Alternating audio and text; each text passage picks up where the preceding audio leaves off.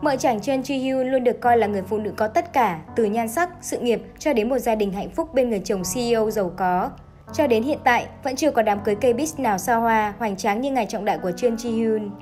Thế nhưng trong buổi livestream mới nhất của kênh YouTube Viện Garo Zero, Garo Zero Institute, một trong những tổ chức chính trị và giải trí cánh hữu có ảnh hưởng nhất Hàn Quốc hiện nay, bất ngờ tuyên bố rằng Chen Ji Hyun và chồng Choi Chun Hyuk đang chuẩn bị ly hôn. Nguồn tin này nhấn mạnh rằng Chen Ji Hyun hiện từ chối làm thủ tục ly hôn bởi lo ngại điều này có thể gây ảnh hưởng cho các hợp đồng thương mại của cô.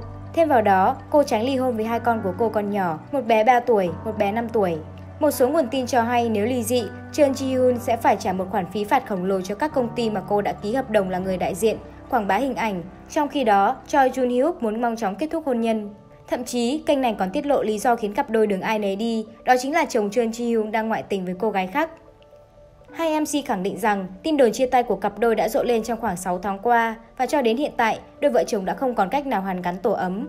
Người dẫn nói tâm trạng nữ diễn viên hiện tại rất tệ. Suy nghĩ của Trương Ji Hyun lúc này rất rối bời. Tôi nghe nói rằng cô ấy thậm chí đang xem xét việc chuyển đến một quốc gia khác sống. Thông tin này khiến fan không khỏi hoang mang bởi viện Garo Zero là kênh giải trí dù tai tiếng nhưng khá có uy tín, từng vạch trần quá khứ trai bao của bạn trai Han Ye Seun, tiết lộ mối quan hệ của Seo Ye Chi, Kim Chung Hyun từ trước. Hiện tại, công ty quản lý của nữ diễn viên vẫn chưa lên tiếng trước tin đồn này. Choi Jun Hyuk sinh năm 1981 trong một gia đình giàu có. Anh tốt nghiệp Đại học Hàn Quốc và Đại học Wisconsin ở Mỹ.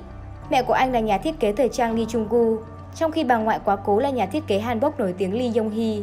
Sở hữu ngoại hình đẹp trai, sáng láng nên mặc dù không hoạt động trong showbiz, Choi luôn được quan tâm như một người nổi tiếng. Không phải là thiếu gia bị đánh giá là phá gia chi tử, chồng của mợ chàng khiến các fan suýt xoa bởi bảng thành tích đáng nể. Choi Jun Hyuk tốt nghiệp đại học ở Hàn Quốc, sau đó sang Mỹ để làm việc tại Bank America trước khi trở về nước và lên chức CEO. Ngoài ra, gia đình chồng Jeon Ji Hoon còn nổi tiếng giàu có trong lĩnh vực kinh doanh. Riêng khối tài sản đứng tên anh đã được ước tính vào khoảng 40 tỷ won, khoảng 829 tỷ đồng. Jeon Ji Hoon, Choi Jun Hyuk vốn là bạn thanh mà trúc mã trước khi tiến đến hôn nhân vào năm 2012. Chương trình The Woman Running the Charts của đài KBS đã gọi tên đám cưới của Jeon Ji Hoon đứng đầu danh sách những đám cưới đắt đỏ nhất KBS. Theo đó, từ nhẫn cưới, váy cưới cho đến chiếc vương miện mỡ chảnh đội trên đầu cũng có mức giá cực khủng, con số có thể khiến nhiều người choáng váng. Trong ngày cưới, Jeon Ji Yoon diện một bộ váy cưới và hai bộ hanbok. Được biết, giá trị của chiếc váy trắng lộng lẫy này lên đến 80 triệu won, 1,6 tỷ đồng. Bộ hanbok cũng là sản phẩm của nhà thiết kế nổi tiếng Lee Yong Hee, bà ngoại của chồng Jeon Ji Yoon. Chưa hết, đặc biệt nhất, chiếc nhẫn mỡ chảnh đeo trong ảnh cưới có giá lên đến 500 triệu won, khoảng 10 tỷ đồng. Thế nhưng đó chưa phải là món đồ có giá trị lớn nhất lễ cưới.